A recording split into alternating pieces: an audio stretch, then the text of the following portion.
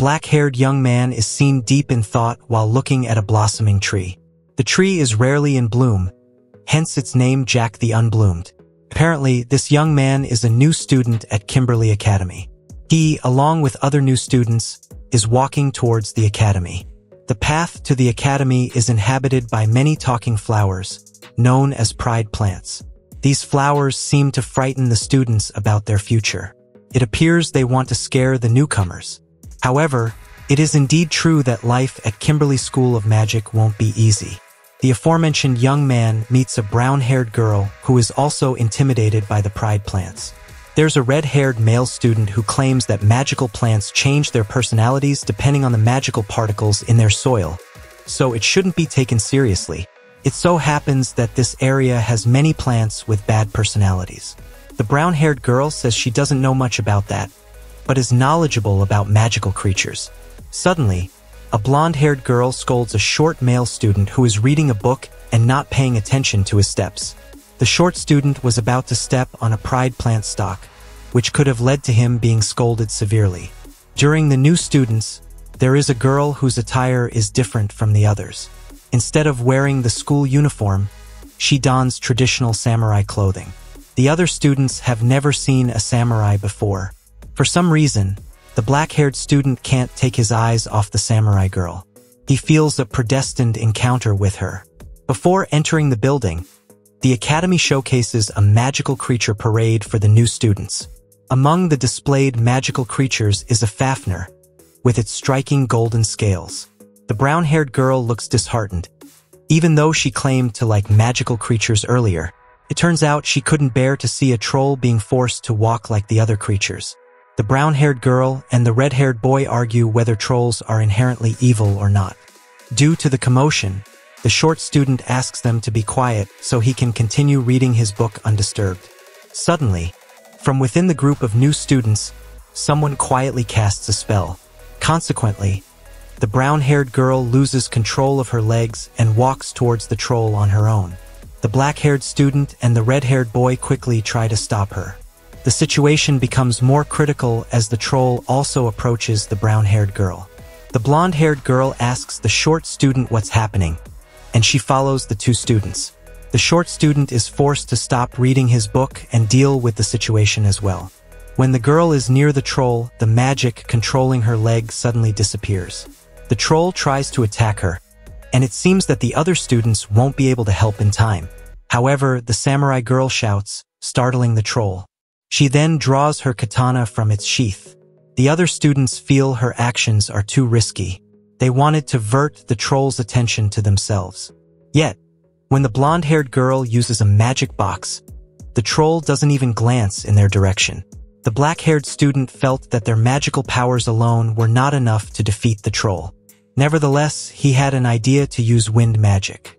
During his instructions, three other students compressed the strong winds and directed them upward toward the troll.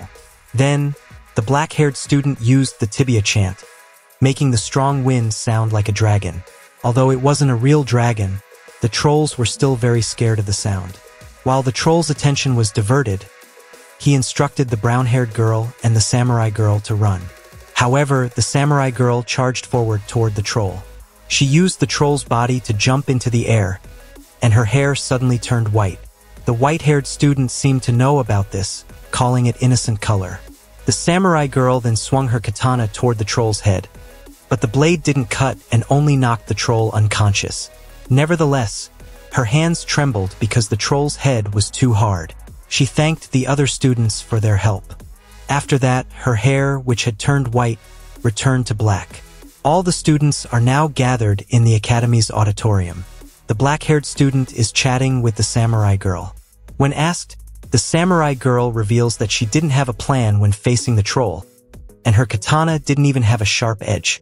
Her actions may be unpredictable, but the black-haired student is still curious about the innocent color from the samurai. Innocent color refers to the color that appears in hair-like crystal, easily conducting magical particles, proving the strong circulation of magic within the person's body. After a while, the event begins with a speech from the headmistress. Suddenly, a woman appears on the podium with grand teleportation magic. The woman is the headmistress, Esmeralda. Before starting, she apologizes for the disturbance during the parade. The brown-haired girl who was involved in the incident has been treated. Esmeralda explains that the students will spend seven years there. There are two principles in this academy, freedom and results. In other words, the students are free to do anything and may die anytime. This statement is not a proverb or the like.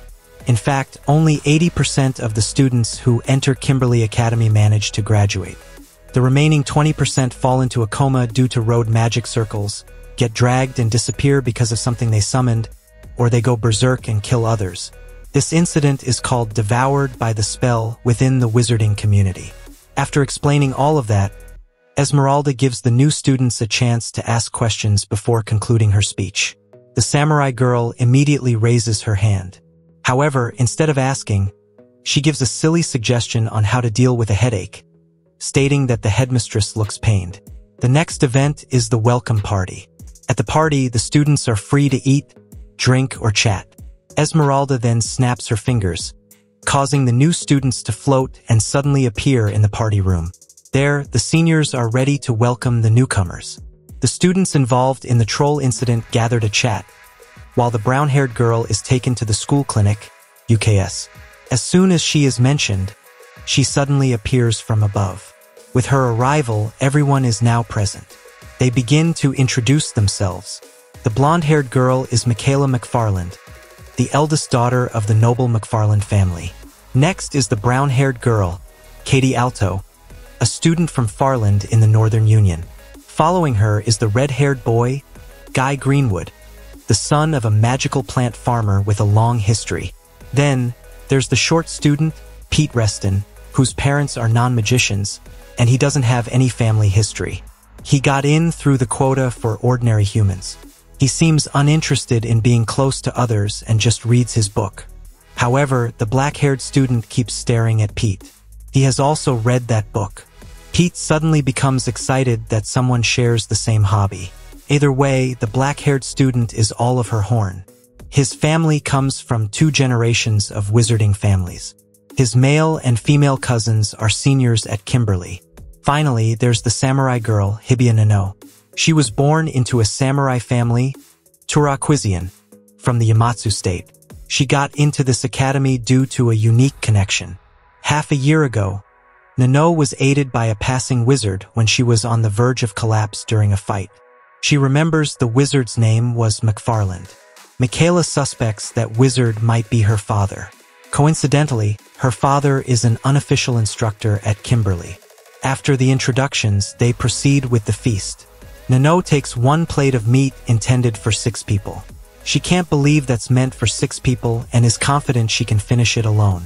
It seems she still doesn't understand the dining etiquette in this country. Michaela offers to teach her the proper manners. Meanwhile, Oliver pretends to play the role of a waiter serving food.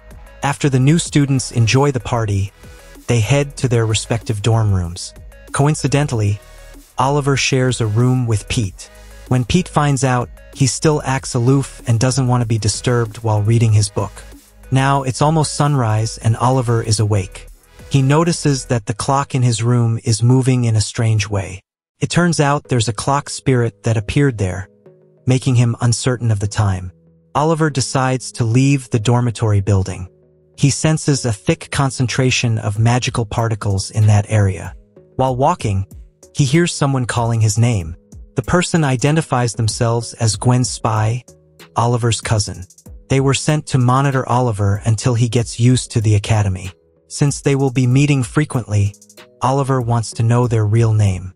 The spy reveals their name to be Teresa Kirst. For now, Teresa still does not show their face. After continuing to walk, Oliver arrives at a fountain. However, he didn't expect to see Nino bathing there. He is slightly surprised to see Nino's body covered in scars. He then casts a spell to block the view from outside. While gazing at her half-naked body, Oliver is reminded of a similar sight of a blonde-haired woman who called him Noel.